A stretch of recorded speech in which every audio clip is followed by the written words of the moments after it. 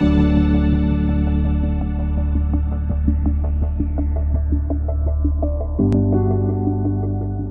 l'AFD, nous croyons au rôle de la science, de la recherche pour lutter contre la pauvreté, nous protéger des pandémies ou encore trouver des solutions contre le changement climatique.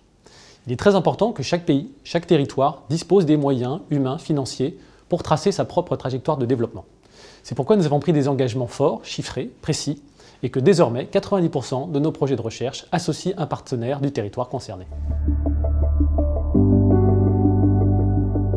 Il y a des expertises de pointe en Europe sur la santé, le climat, la biodiversité, les inégalités. Mais il y en a aussi, évidemment, dans les pays du Sud.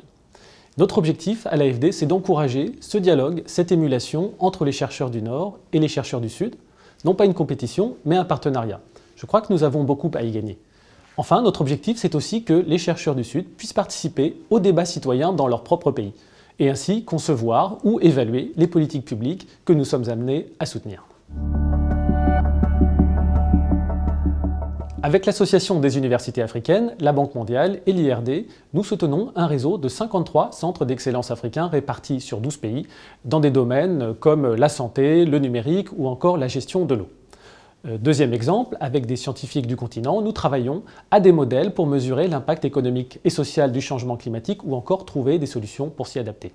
Cette année, enfin, nous allons lancer deux nouveaux projets innovants, l'un avec l'Université de Clermont et le Global Development Network pour accueillir et soutenir les travaux de chercheurs du Sud. Euh, enfin, avec l'Université Gaston Berger de Saint-Louis au Sénégal, mais aussi l'Université internationale de Rabat, le LASDEL au Niger ou l'IRD, euh, nous allons lancer une nouvelle revue scientifique africaine pour également encourager les jeunes chercheurs africains. Comme vous le voyez, notre stratégie est ambitieuse, dotée de moyens importants, et nous espérons ainsi pouvoir soutenir davantage les recherches au Sud.